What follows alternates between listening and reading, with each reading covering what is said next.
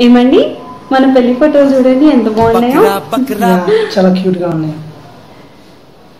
ఈ ఫోటో చూసాక నాకు డౌట్ వచ్చిందండి. డౌటా ఏం డౌట్ అసలు పెళ్ళిలో అరుంధతి నక్షత్రం ఎందుకు చూపిస్తారు? పెళ్ళిలో అరుంధతి నక్షత్రం చూపించడానికి ఒక స్టోరీ ఉంది. ఓ అవునా? చెప్పండి ఏంటది?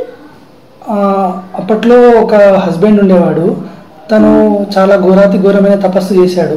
ఎలా అంటే ఘోరంగా అంటే లైక్ తపస్సు చేసినప్పుడు పుట్టలు రావడము ఘోరంగా గాలివాన రావడము గాలి రావడము గడ్డం పెరిగిపోవడము. మన సినిమాల్లో చూపిస్తారు చూడు తపస్సు. ఆ విధంగా అంత తపస్సు చేశాడా? చేస్తే ఇంకా ఈ తపస్సు చాలా ఘోరంగా ఉందని చెప్పేసి దేవుడు కరుణించేసి ప్రత్యక్షమయ్యి అడిగాడు అనమాట ఏం కావాలి నీకు వరము? ఎందుకు ఇంత ఘోరంగా తపస్సు చేసామని అడిగితే తాను అప్పుడు చెప్పాడనమాట. నేను పెళ్ళైన తర్వాత నా భార్య నాకు చాలా చుక్కలు చూపిస్తుంది రోజు. అయితే నా పరిస్థితే కాకుండా భూలోకంలో ఉన్న మిగతా భర్తల పరిస్థితి అంతా ఇలాగే ఉందని చెప్పి నేను తపస్సు చేశాను స్వామి అని అడిగితే సరే నీకు ఏం వరం కావాలి కోరుకో అని అడుగుతాడు దేవుడిని. దేవుడు అడిగితే దేవుడు ఏమంటాడంటే అది అతను ఏమంటాడంటే దేవుడికి భార్యలు మాకు అందరికి చుక్కలు చూపిస్తున్నారు. సో మాకు కూడా అలాంటి ఒక అవకాశం ఇవ్వమని అడిగాడు.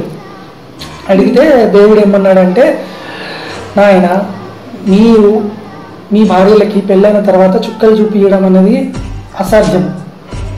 సో అయితే మీకు ఒక ఛాన్స్ ఇస్తాను.